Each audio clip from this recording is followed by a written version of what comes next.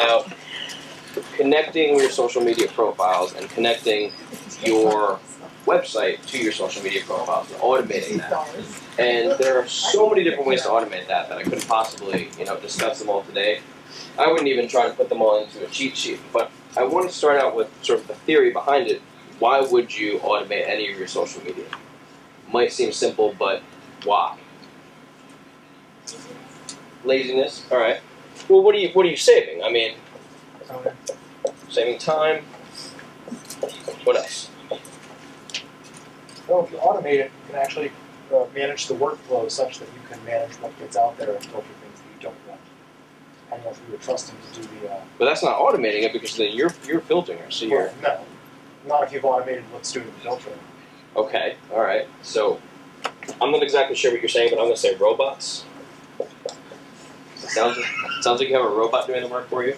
But another thing I think is just the the mental work of doing the task of knowing what you have to post and where, and just saving yourself a little bit of mental work, having to remember what social networks you're using and where you want to post your content every time you post something on your website. Now you have to remember, oh wait, I also have to post it on Facebook and I also have to post it on Twitter. I mean, has anyone had that frustration where like Google Plus comes out, for example, and now you think, oh great, now it's another network that I have to set up, find friends on, maintain connections with people, and post my content to. And you know, you might not post the same content to every social network. So there's no button to shut this screen down, so we're to do that. So you might have something like this, where you have your blog, and you might not call it a blog, especially if it's a business site. Maybe you call it news and updates or something. But if it's displaying regularly updated content in reverse chronological order with the newest at the top, especially if it has an RSS feed, then that's really technically speaking, it's a blog. And you post to it, but every time you post to it, you also want it to go to Twitter. And you also want it to go to Facebook. And maybe then Google Plus came out, and so, damn it, you added Google Plus as well. And uh, not only that, but you've got a Pinterest account that some, so we'll put a question mark there, some of the posts go to Pinterest if they're, you know, visually uh, interesting and they have a photo that you want to pin. Um, maybe some of your stuff is newsworthy, so you want to put it on Digg and Reddit and Delicious.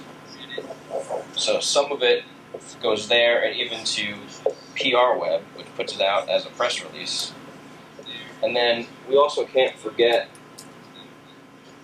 email over here because people are still using email and many of your readers don't even know what an RSS feed is. So they need to have a subscription to email. You can't forget email. And you can't even really leave out way back here print. You might still have a print newsletter that goes out. Let's say you have a monthly newsletter.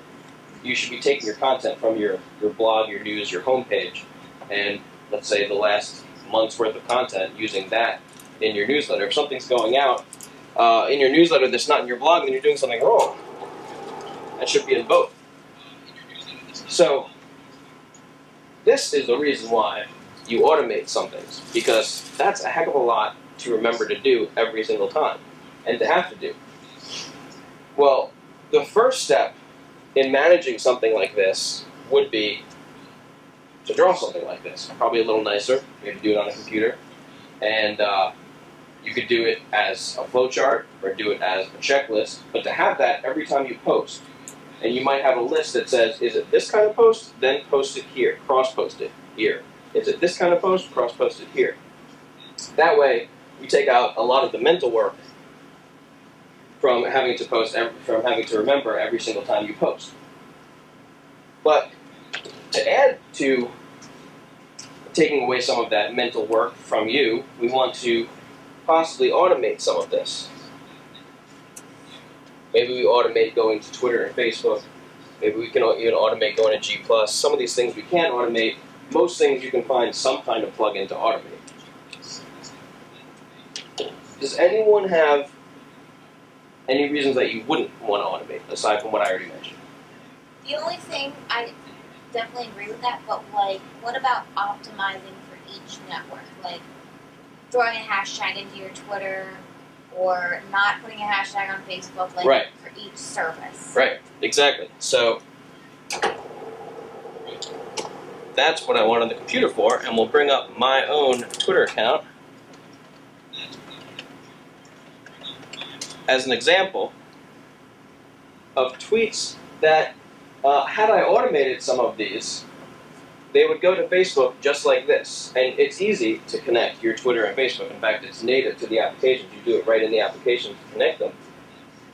If you want to contribute to the social media conversations from hashtag, what is that hashtag doing on Facebook? It doesn't do anything on Facebook. It just sits there. It's not clickable. What is this at symbol doing on Facebook? Point Park University probably has a Facebook page. And there might even be, a, there probably is a TechNow presence on Facebook as well. But if I'm using these hashtags and at symbols as they are on Twitter, when they go to Facebook, they lose all of their functionality and they don't mean anything. And I've heard from many people who said, I don't understand why people are using hashtags on Facebook. Well, they're not using hashtags on Facebook, they're using them on Twitter, but they're automating that. The other reason you might want, not want to do this is these are all just 140 characters versus what you have on Facebook. Uh, I'm, I'm not using a lot of slang, but you've seen people on Twitter who shorten words, use slang, abbreviate things because they only have 140 characters. Here's an example right here. I mean, built in PGH. Maybe if she put that on Facebook, maybe she would write built in Pittsburgh, but she's saving herself some characters. I mean, that's a tame example. You know, sometimes people use seriously shortened slang on Twitter, which would look ridiculous on Facebook because you can actually type what you want to write on Facebook. Then there's the issue of share preview images. If you wanted to share a link on Twitter, you just, you know, you share the link and then someone has to click on it, and we're not logged in on that computer, but someone has to actually click on the link and go to it.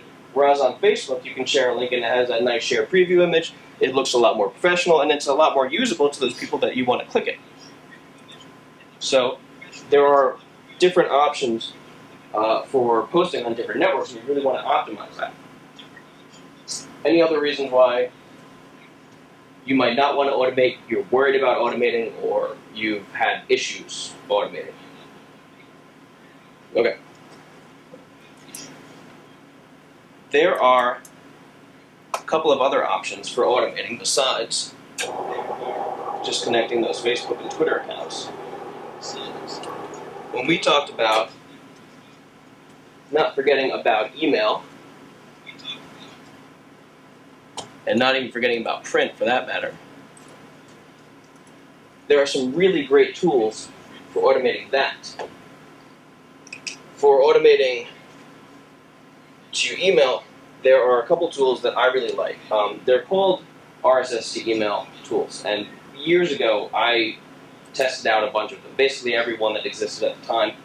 Uh, the one that I found that I liked best, there's not much purple left, so we'll switch to red, at the time, was called Feedblitz. It's an alternative to FeedBurner, um, but in which FeedBurner optimizes your RSS feeds. But it, it, I was using it more for its ability to automate the process of going from a blog to email, which means that I can offer a subscription on my website for people to subscribe to the blog content by email. Anytime I posted, they would get it in their email. It also had configurable options where people could decide to uh, get the content immediately as it was posted, get uh, you know once a day update or, or once a week uh, updates from me, and you can also subscribe. My users can subscribe even by uh, Twitter and by their social networks. So this is a way you could really say FeedBlitz is another way to connect your RSS to your Twitter and your Facebook, but that's those are individual user configurations. Recently, or more recently than that, the mail service MailChimp has come out with an RSS to email feature as well. These are the two that I like to use, and I was going to show you, but we're having issues with the computer. So the interface on FeedBlitz is not as smooth as the interface on Mailchimp. Um, don't be scared when if you log in and find that it's not incredibly user friendly. Um, it's a great tool, a very powerful tool. I would decide between these based on whether or not I have an existing email campaign. If I'm already using MailChimp for email, first of all, that's an easy choice. Then use it for this as well. Um, if you're using another program for email, then you know maybe FeedBlitz might be the easiest to set up.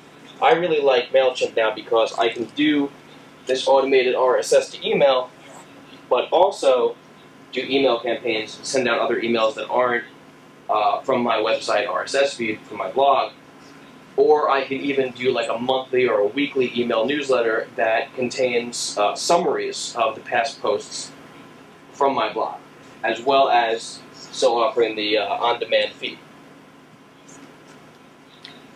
Now, what's really cool, and what kind of prompted me to want to do this session, is that MailChimp has even more recently come out with a plugin called Social.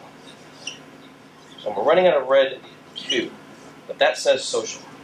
Is it Mailchimp social or just social? It, it's it's social by Mailchimp basically. So if you if you Google social plugin Mailchimp, it's a WordPress plugin that automates the process of going from your blog and your new your newsfeed, your website, uh, to Twitter and Facebook. And I just talked about why you don't want to automate going to Twitter and Facebook. Well, why am I so excited about Mailchimp? And now I actually will have to log on and show you this because it's a semi-automated process. And bear with me as I log into my account here. Because I'm going to have to remember my email. And I probably won't the first time. What it does is every time you post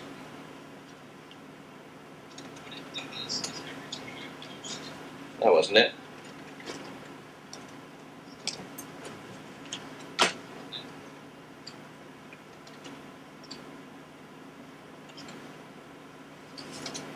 You can automate it so that every time you post, I'm not logging in.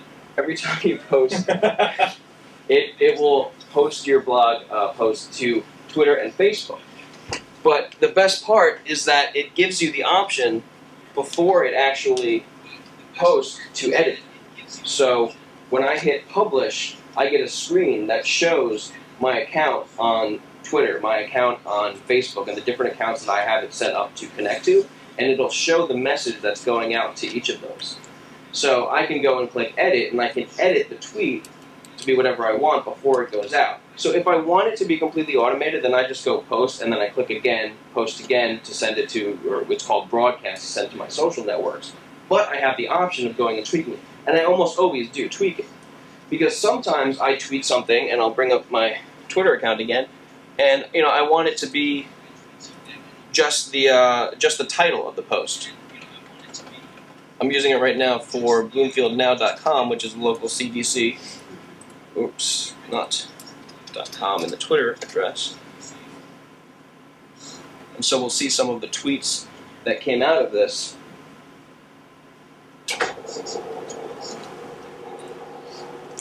In this case, I just use the title and then the link. Uh, same here, I use the title and then the link by default, it uses the title and a little bit of the text, uh, and then the link. And if the text is more than 140 characters, it'll get cut off. And so I don't really like how that looks. You know, I don't like any text that's cut off.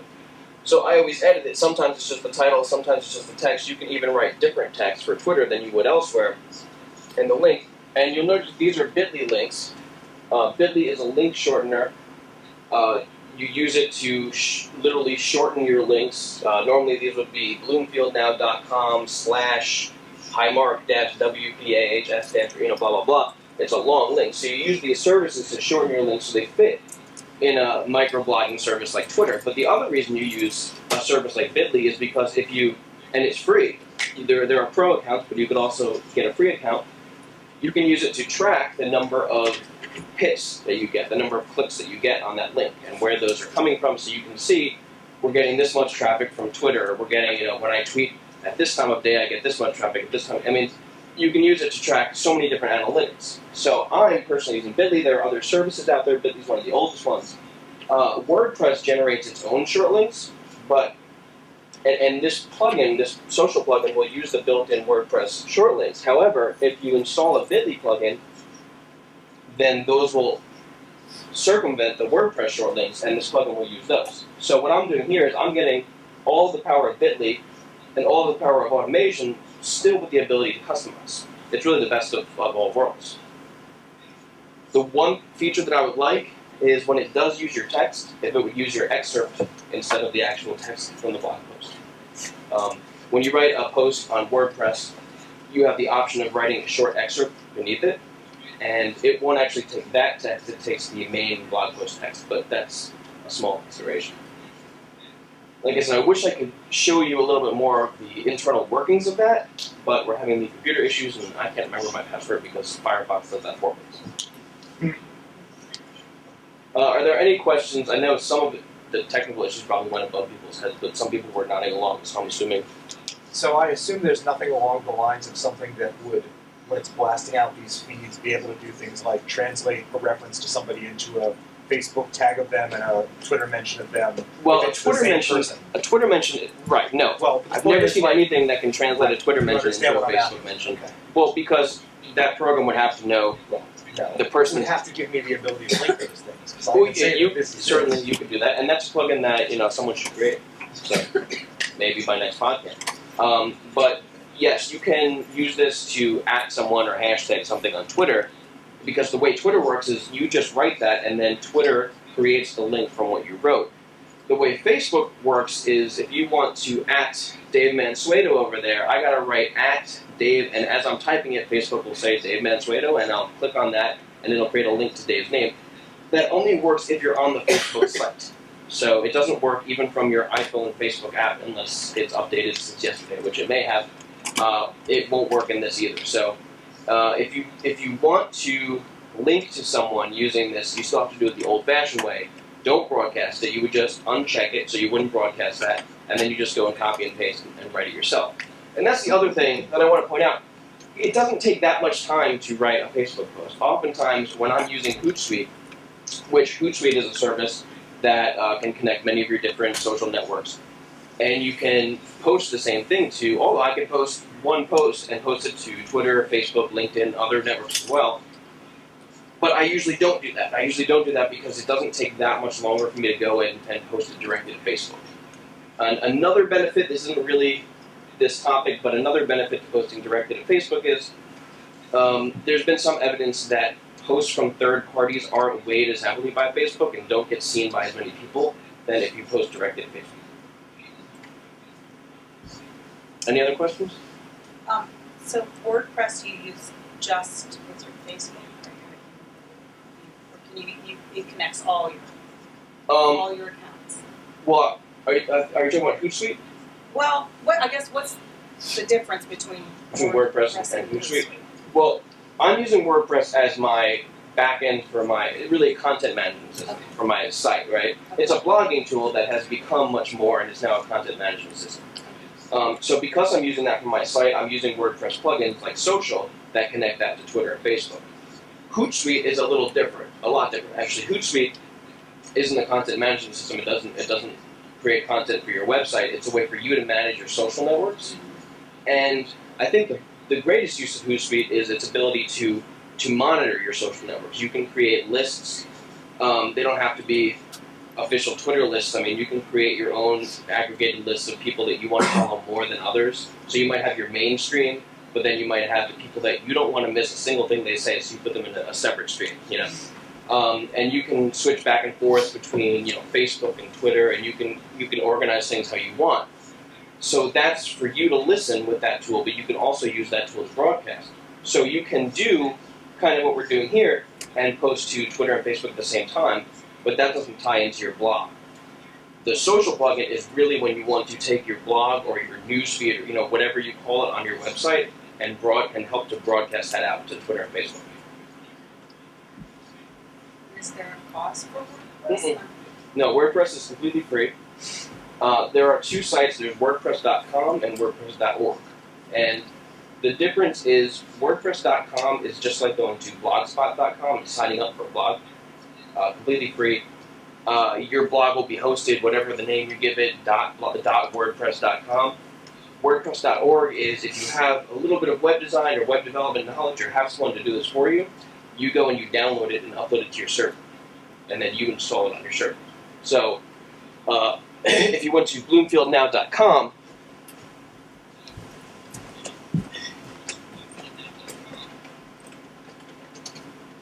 or for that matter, AvenueDesignStudios.com, these are both running WordPress on their own server. And um, if you have design skills or you know can uh, choose a template, there are thousands of free templates available, and then there are also paid templates available, allow you to customize a little bit more, or you can hire someone like me, who's a designer, to design you a custom template. Uh, one thing to keep in mind, if anyone ever tells you that a WordPress site has to look a certain way, that's BS. Uh, that's like saying a, a Lego house needs to look a certain way. You can, you can really make it look any way you want. And with the amount of plugins there are available and the ability to customize, you can make it do anything you want. I mean, these two sites look completely different, both built on WordPress, and you know, there's a million examples I can show you. So is there a, a plugin or a media manager or content manager that will let you go across what I'm finding is it's hard to find when that crosses. There's the Facebook, Twitter, and then way over here on the other end is Google Plus. Right, right. And, and granted, they're used for different things, and there's different, uh, I guess, people that are on them. But when you do have something that would be applicable across all three, is there? And granted, like you said, it takes another minute to bring up one. Right. But, But it does take a minute. So that's, that's why we want to automate as much you know, as we can, so we don't have to take as we, you know those minutes every excuse me every time we post. Um, social, for example, just does these two. It doesn't do Google Plus. Uh, will it ever do Google Plus? Well, Google Plus is so similar in ways to Twitter and Facebook that I would imagine that that might be in the works. Um, it, I don't use Google Plus extensively, so my knowledge on on any of this is very limited, but I imagine there's probably another plugin that you can get to automate that the same way. But when looking for plugins, I would specifically try to find something that allows you to edit the post before it goes. Are you are you talking about automatically posting to Google Plus after you publish the WordPress? Cross posting, automatic cross posting. I've just started using if if this then that, Mm. which is not a plugin, but it's a service that says if if this one thing happens, then do this. Right. And I think it works great, and you can customize it in any number. Of, I'm just throwing that out because I've Yeah. tried a lot of the plugins, and they haven't. It does something Well- but not the other, but it's IFTTT is the website, and you can create thousands of different. They call them recipes. Right. So it, the solution might be outside of WordPress. Right. So that's a site where you go, you sign up, you log in to Twitter and Facebook and connect them all in Google Plus, and it's not a plugin.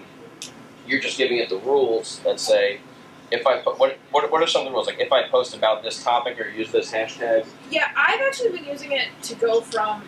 So I used to have Tumblr push content to Facebook, Right. and now I've turned that upside down. Um, so when I post something on the Facebook page, it updates the Tumblr. Right. The problem is, if you're using it for your website and you're using IFTTT, it's not going to rewrite your post for Twitter and Facebook.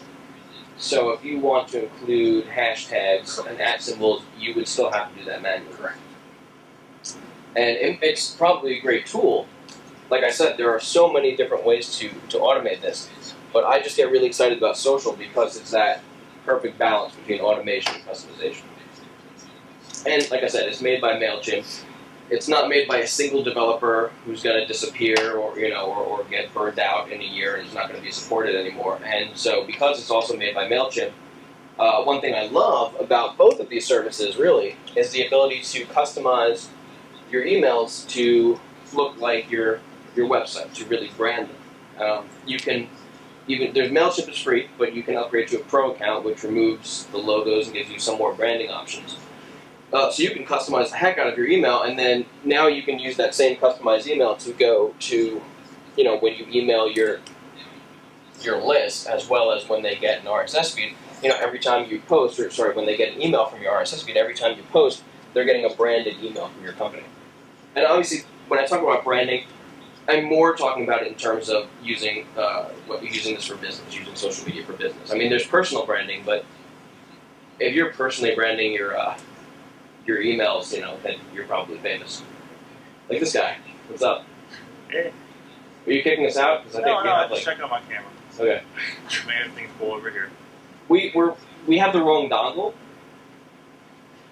Yeah. Yeah, we have we have a male dongle. We need a female dongle. Oh. Yeah. I don't know what to do about that. I don't know what to do about that either. But that's what Derek said. I don't know where Derek went.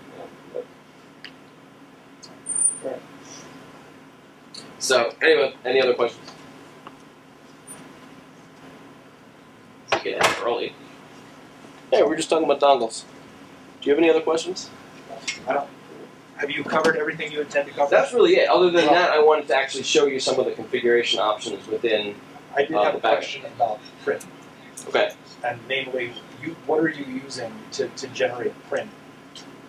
Or what? So the problem. Let, let me let me explain what the background is. Okay. So Gwen and I, because I foolishly opened my mouth, now publish a quarterly newsletter for a nonprofit. Um, um, turns out publishing a quarterly newsletter is a huge pain in the ass. Yeah. Yeah. Um, so at the moment, I, I have a rather badly botched up template um, for Microsoft Word that I'm, that I'm filling in every right. every three months to do this.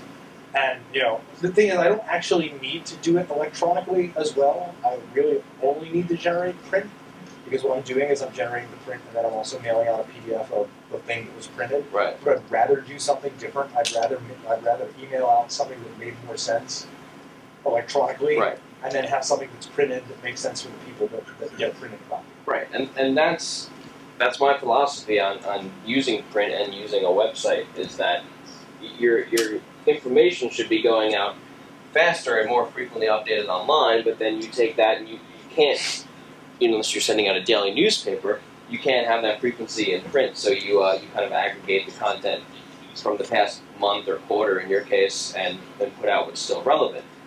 Well, No, I don't case, know- It's all still relevant, but good, then it's also relevant. But I still don't know any way to automate that. Um.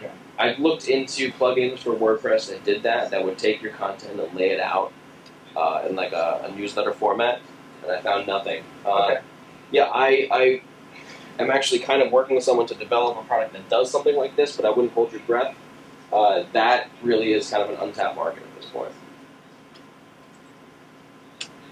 You said for the services that you can upgrade, they're free, but then you can go pro. Are the ones that go pro, are they typically a, a monthly, a yearly, a one-time payment, Um, or With MailChimp, it depends on, on how many people are on your mail list. I think the same thing with people. I think that's pretty much any email service is uh, your monthly rate is based on your number of subscribers.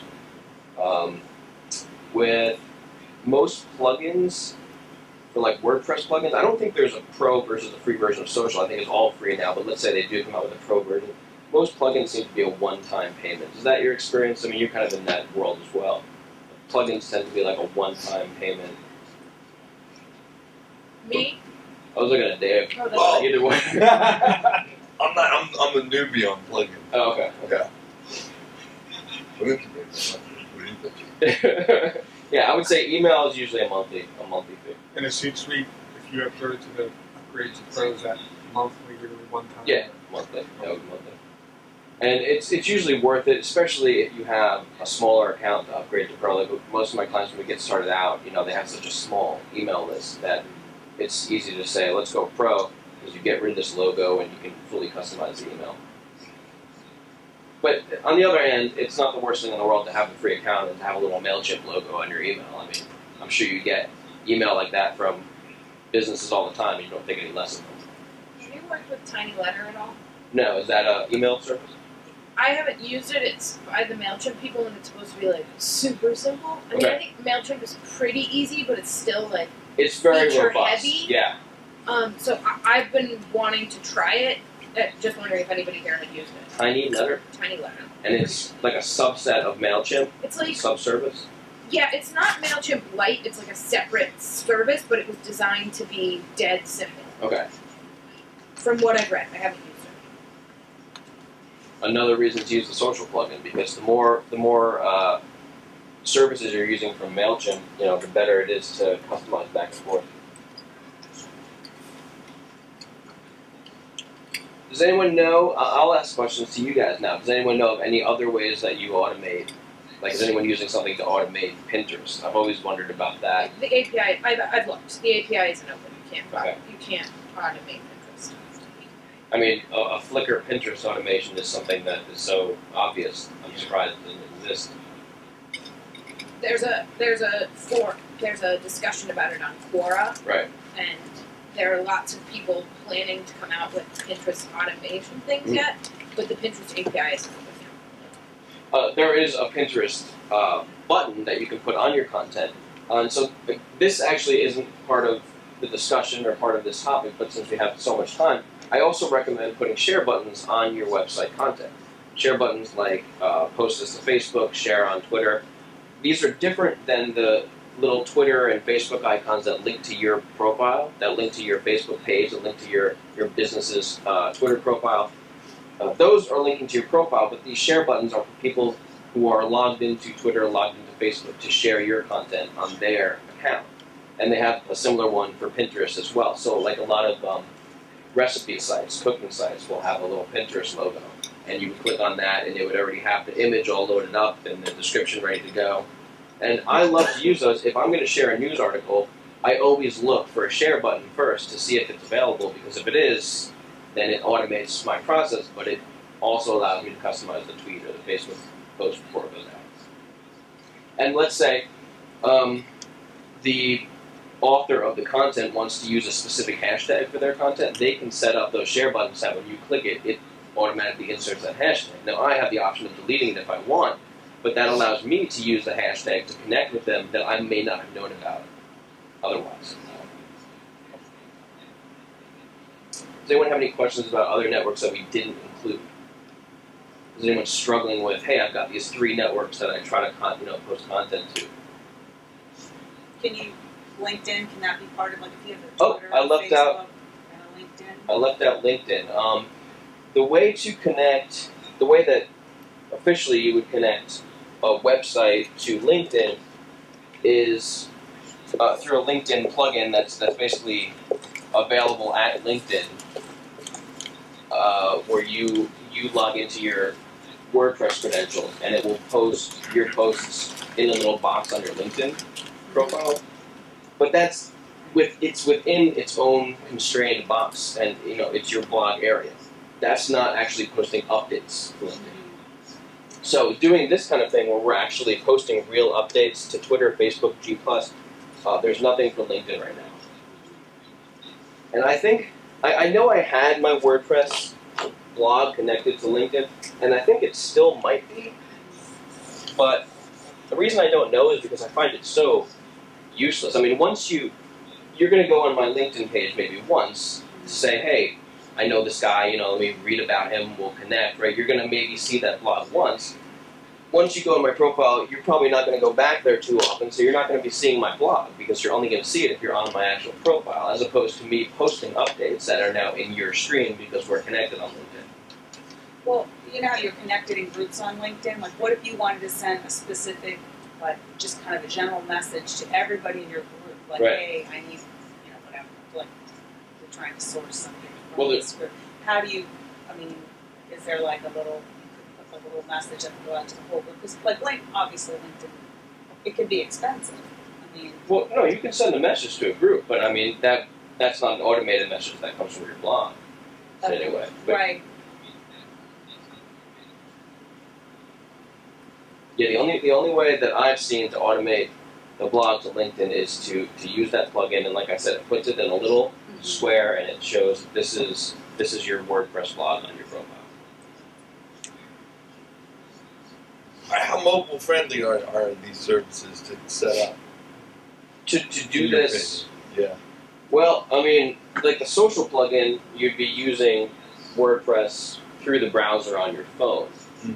Um, I don't know if you were using like an email to blog, like WordPress, where you can you can email a blog post and it'll go out. I don't know if that would also go to broadcast to your social networks. I'm not. I've never tried that, so. That's a good question. Look how annoying Microsoft.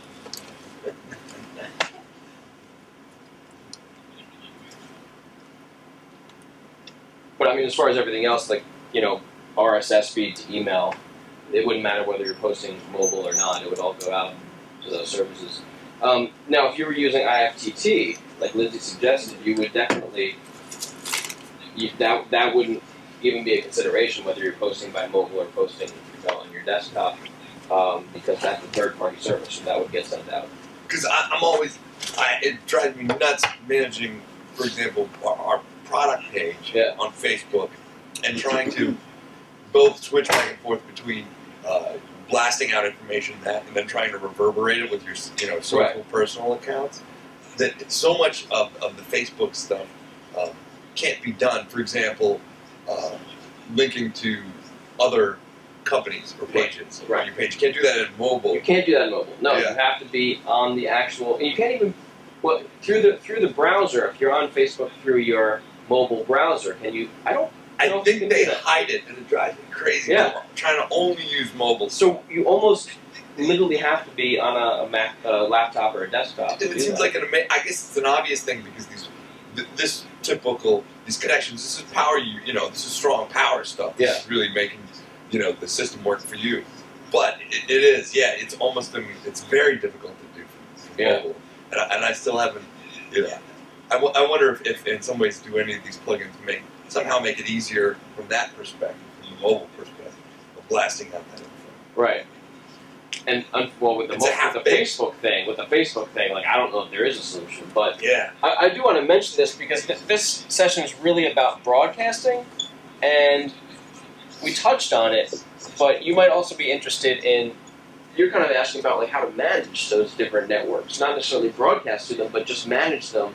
You know, when you're on so many different networks, and you're you're mobile, how are you going to manage them on a phone? You know, how are you going to switch back and forth between? You can't switch back and forth between different tabs as easily mobile as you can, you know, in, in your on your laptop. So Hootsuite is really useful. I think of it more as a listening station than anything, meaning that I'm using it more to see what people are saying. You can use it to search. You can create saved searches. So if you wanted to search for PodCamp Pittsburgh 7, the hashtag, you can create that as a saved search, and then you'd see a stream of people.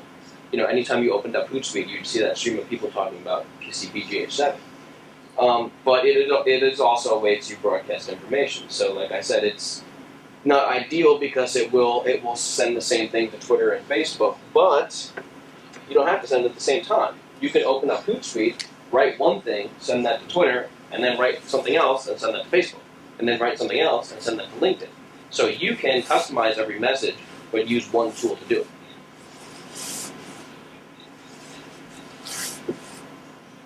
TweetDeck only Twitter. But TweetDeck is really the same thing. I mean, it's very, it's a very similar tool to Hootsuite, and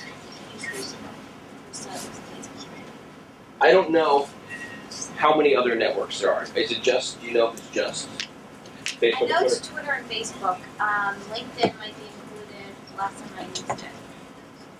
That's all I know. I feel like I hear every, in this session, in this weekend, everybody's Yeah. talking about Hootsuite rather than. Right. It used to be TweetDeck. I think that PodCamp Pittsburgh three. I think TweetDeck was like. I think that's where I learned about TweetDeck actually. Um, and then like, like a year later, everything was Hootsuite. So, and that, but that being said, TweetDeck has updated since then. I've just never gone back and looked, so it might be comparable. Sure. Do any of these test your links before it sends them out? No, I've never seen anything that would would test your links. So test your links. Is there something that is comparable uh, from an audio perspective, like from a, if you're doing podcasts and you want it to hit uh, your blog, your Twitter, your Facebook, whatever that even though it's probably Choose- just going to send out the link to that Right. podcast. That's what I was going to say. It would it would just be sending the link to the podcast, or if even if it was the direct link to the audio file. So there, is there anything, or would you just have to go into one of these and put in the link and then send it out that way? That Well, I mean, let's say well, if you're using a blog to power your podcast, so that anytime you posted a new audio or video uh, episode of your podcast, it basically was in a blog post. You know, it, you you would use WordPress to create a title for it, embed, uh, you know, the, the file, and Dave can tell you more about the tools, the specific tools. I haven't been podcasting in a while. Dave's up to date with the newest tools for doing so. But it would still, it would actually still be an RSS feed, just like a regular blog, just like just like text. So we're still talking about that RSS get, getting sent to uh, email, getting sent to Twitter, Facebook, but it, it would be the link to the content. So WordPress would allow you to embed your, your basically your audio podcast, and then Oh yeah, then it would Word- just function like normal. WordPress is a great tool for audio and video as well, and, it, and it basically works the same way with RSS. And RSS stands for kind of stands for two different things, but it stands for the easiest is really simple syndication, and that's what you're doing. You're, you're making it really simple to syndicate your syndicate your content and send it to various networks and allow people to subscribe to it. You want to recommend any tools for? I, I'm amazingly, I'm kind of like a luddite with regards to things. What, but what I would suggest is to make sure that wherever the link that you're sending them to is has is a friendly place that has a player that has the option to download a file, rather than because you know we've seen over the years of working in Libsyn and stuff like that. You know, the, there's different methods. Some people send you to a feed. Some people send you to a audio file. It's not a consistent experience. And in a way, that's a problem. Whereas, say, YouTube, and I think uh, I heard this a lot in other sessions. You send somebody to YouTube, Sword we're talking about it. It's like they're gonna, their grandma's gonna be able to get there. Right. You know, everyone's gonna get there. The guy that just got off the, you know, from Martian land, is from another planet, is gonna be able to view and consume the content. So as long as you provide a landing space that is that is an uncluttered landing space with a player and, and a couple of options, and maybe the options to reverberate it, you know, by sharing it. That's the best way Right. to go. And and you know, I, I think, you know, and I think that's better than sending just the media file. But I, I think this that this is still a problem that kind of needs to be solved because audio, it's still not as friendly as YouTube. Maybe SoundCloud. I find myself nowadays you know, using using things like YouTube or SoundCloud over, even though I've got it in, in what I consider the democratized format, which is the podcasting RSS feed, because I think I'm going to get more impressions with a more friendly landing spot to listen and consume that audience. So, you know, for the for the sake of you know all that's important with the internet, you know, I always make sure it's somewhere on an RSS feed in a democratized fashion, a non-siloized, meaning some other company owns your media option, but oftentimes I front put them on the front end the uh, the siloized service representation on SoundCloud or even a YouTube video, even when you're giving them audio. Yeah, the the more popular services. When I first created our, our podcast, G was like, I want to do a podcast. And I'm like, all right. I read RSS feeds for dummies. I created a hand coded XML file and I uploaded the audio files, uh, the MP3 files, and updated the XML file. Now, when anyone would go to our site and there was like a little section about the podcast, because I didn't think it was going to be big. This is before PodCamp Pittsburgh 1. You would have to copy and paste this URL and go to your pod reader. What did they call them back then? Podcatchers. Podcatchers, yeah, yeah, yeah. And you go to whatever you know podcatcher you were using. I don't even know if iTunes. Well, I guess iTunes existed. And I you just didn't exist yet. iPodder was the first. you yeah. go to iPod, right? You post in the URL, and you would get every episode. And I thought, well, that's all people need. They need this just this one link to this XML file. Technically, that is all people needed, but no one's going to know to do that. So you know, when we redesigned the site later on, we used WordPress as a back end, and I looked at what a lot of other podcasters were doing. And back then, we had a million links down the side and the sidebar to all the different services you can subscribe to. Now there's just the one link, you know, open in iTunes or, or go to YouTube. Uh, and that's another thing you do if you are trying to promote your content. You kind of do you agree with this? You want to kind of choose one or two networks to really promote it heavily on. You want to put it everywhere you can. You know, you want to put your video on as many video hosting sites as possible, but you're probably going to be promoting it on one or two more than the others. Because first of all, you don't have the time and energy to promote it on, on everything, and you want to find out where your audience is and promote that the headings.